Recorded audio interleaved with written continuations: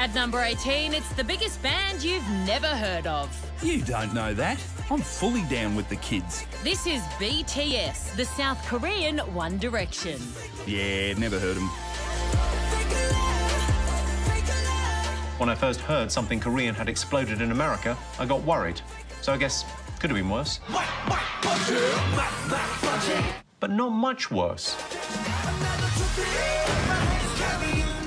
And exploded they have. They're the first Korean act to have a number one in America, which is made even more impressive because only one band member actually speaks English.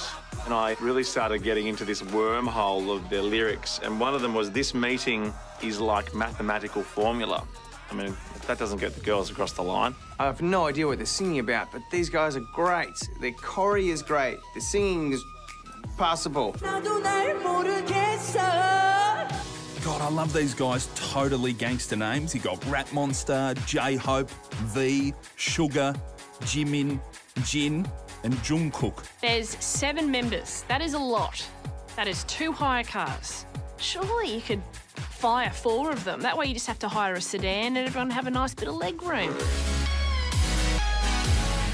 BTS have over 5 billion YouTube views and number one hits in 73 countries. They were the most tweeted about celebs for the last two years running, and they even spoke at the UN. What about? I'm going to say hair products. We truly have the best fans in the world. These fans are hardcore.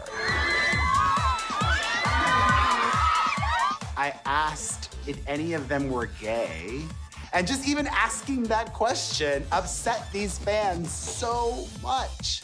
I'm like, it's just math. So I feel like BTS are a really big band. They're also the new old people barometer.